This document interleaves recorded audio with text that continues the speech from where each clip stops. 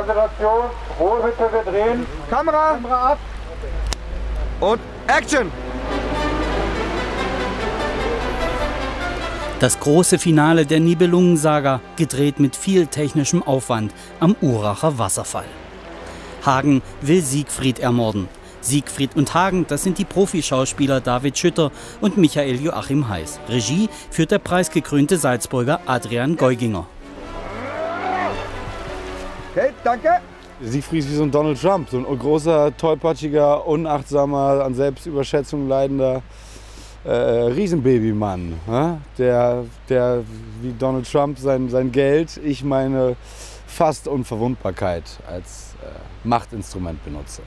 Studenten der Filmakademie Ludwigsburg haben die Nibelungensaga umgeschrieben, sie ins Hier und Jetzt geholt und die Sicht auf Siegfried und Hagen verändert.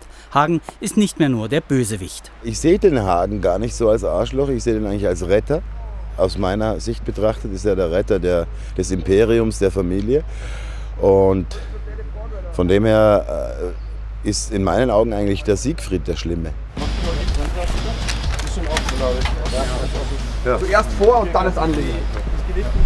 Also bleibt immer bei dem. Die Neuinterpretation der Nibelungen erzählt vom Machtkampf in einem Rüstungskonzern.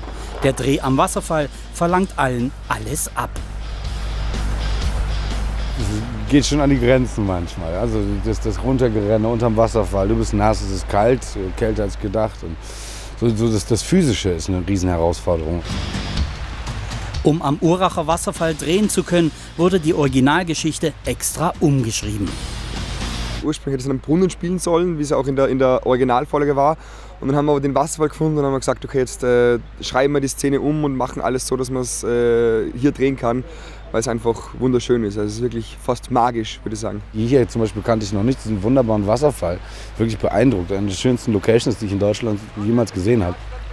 Das sind Bilder, die man für den Film einfangen kann, die man ganz selten irgendwo kriegt eigentlich so. Dieser, das Bachbett und der Wasserfall ist irrsinnig schön. Die Neuverfilmung der Nibelungensaga wird ab Sommer auf verschiedenen Festivals und später auch im SWR zu sehen sein.